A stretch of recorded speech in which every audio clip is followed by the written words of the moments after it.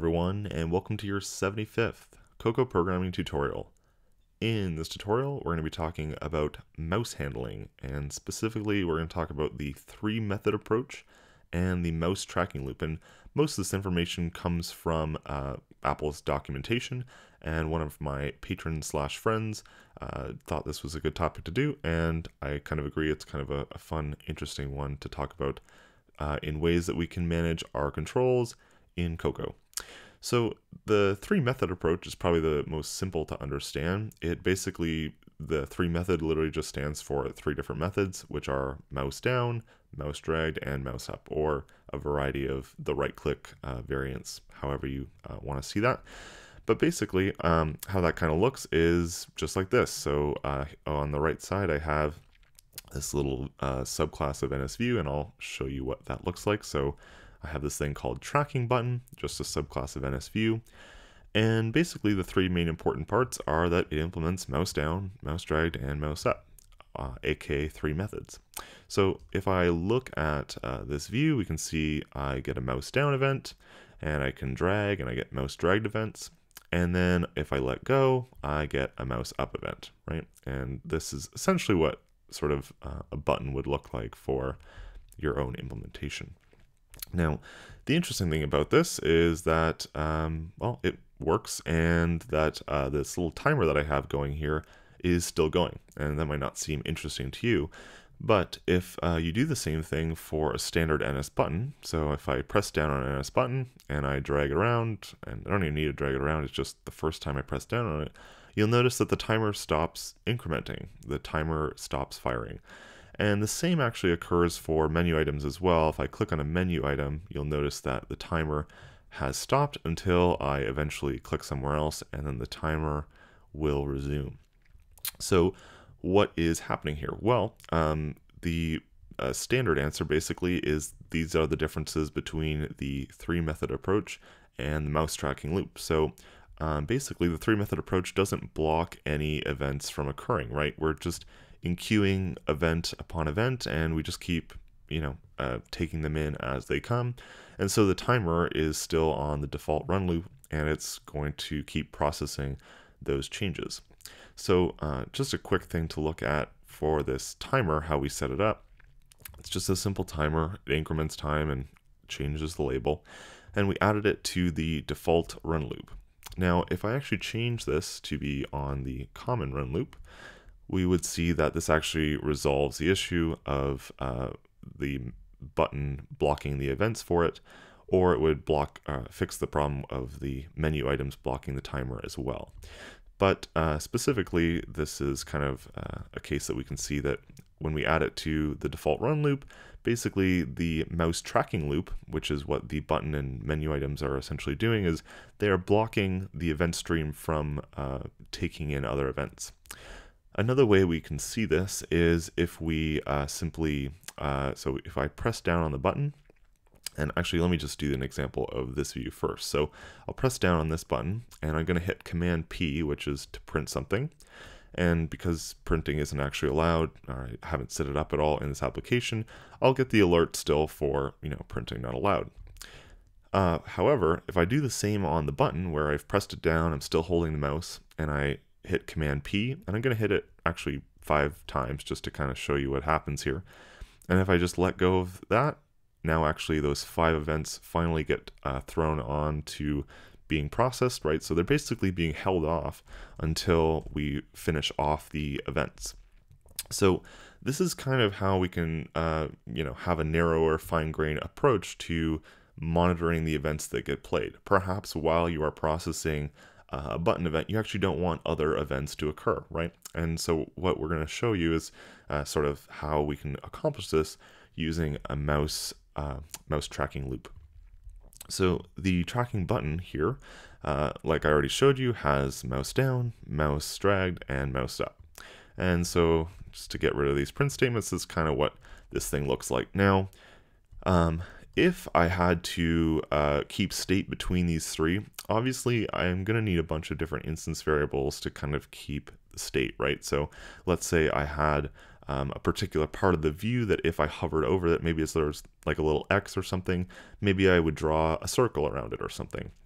And if I did that, right, I'd have to uh, basically capture the state between uh, different things like did I press down on this while I'm dragging, right? All these different state variables I'd have to basically keep in line across all three of these methods. So this the state of just kind of dragging can start to uh, get brought out into the rest of the, the, the class itself, which isn't an awful uh, thing. But the the other really big thing, right, is obviously that um, if I wanted to block different like key presses, for example, I have to basically um, know that okay, I'm I'm in mouse down. I then have to keep a state to say, okay, I'm in a mouse down operation right now, and then I'd have to block those events from occurring. And there wouldn't really be a way to fire them necessarily at a later point in time. So this approach um, is very good for what it is. It's probably the simplest approach in doing mouse uh, dragging events but uh, there isn't really a great way to block other events from occurring if you need to block them. So that's where the mouse uh, mouse tracking loop comes in. So I'm going to go ahead and delete these calls here, and I'm going to put in the code that I've already written for the mouse tracking loop. And we will explain that here. So the logic is pretty straightforward basically we're going to set up a loop. So this is my little while loop here. And I'm telling the, the I'm telling the window basically, well, that you can do this on the application or the window level, but preferably the window level because you're in a view and you have access to the window directly. So we can basically say, okay, um, I only want to receive events that match whatever these particular events are. In this case, I'm trying to match uh, the mouse dragging and mouse up. And so when those events do happen, I'm going to get one of those events and now I'll be inside this loop. And I just convert basically like I was doing previously in my mouse drag logic. I'll convert the location of this event from for the mouse to my view coordinates. I check to see if the mouse is inside of our view.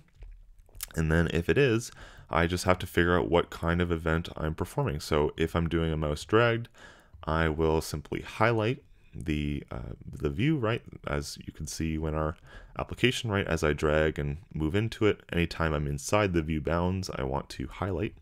And if I'm not I don't want to highlight. And then if a mouse up occurs if I'm inside the, the button that's our fake button that we have here then I'll execute the button press. And if uh, once I'm done with that I don't want to be highlighting anymore.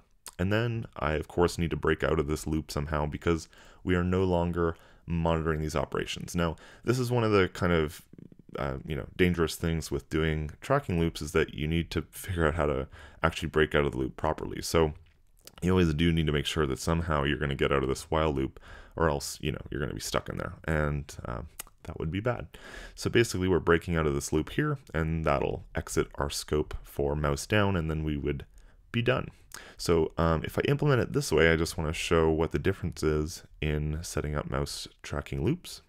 So now uh, I have this timer. Let me just make sure I switched it back to, so it's back to default. It's good. So if I press down now and I move around, we can see that the timer will stop because we are blocking all the other events uh, from you know being played until of course I let go and then the event loop will continue to process whatever events haven't yet occurred. All right, so um, with that, I want to point out one more thing, which is uh, in the documentation that I'll point out in the documentation will also be in the description. Um, so one thing that we might want to do is actually implement how uh, we define key presses to occur, right? So uh, like I showed you before, actually, let's just switch over to the application before I make this change.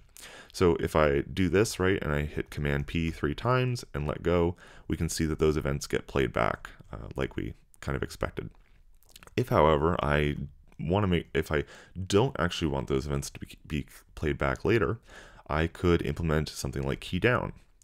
And I could implement this case for key down to basically just do something else. And in this case, uh, it's really easy just to do a little beep noise. So we'll do ns beep, and um, that's it. So we'll we'll do a beep, and we can see kind of what happens there. So now if I go up here and I do a command P, well, you can, I don't know if you can actually hear it or not, but there is a beep noise coming from my computer. And then if I let go of my mouse, uh, the event continues, but those key downs were processed in that event loop and they don't actually get uh, you know queued on to the end essentially. So if you do not want uh, the events to occur at a later point in time you can absorb those events into uh, this uh, this mouse tracking loop. And the other nice thing about this is that all of your logic is really just contained in the mouse down now, obviously, the downside of this whole thing, though, is that it is just contained in your mouse down. And if somebody was to try and subclass something like this, right, uh, just to override some kind of behavior, they can't just override mouse down or mouse up, right? I mean, they have to literally rewrite the entire logic for how your tracking loop works. And so, unless you have some kind of you know subclassing uh, entry point that your you know subclassers could use, then obviously there's not really a great way of overriding the behavior in some some type of subclass, which of course might be okay, but it's just something to be aware of that you know they're gonna have to override mouse down and rewrite the entirety of the mouse tracking logic. So anyway, with that said, those are the two different uh, kind of approaches that you can use for um, mouse tracking or uh, handling mouse events. So we've got the three method approach and the mouse tracking loop. Anyway, uh, thanks again for the suggestion, and I will see you guys next week. If you enjoyed this video, please subscribe to the channel, give this video a like, and share it with your friends.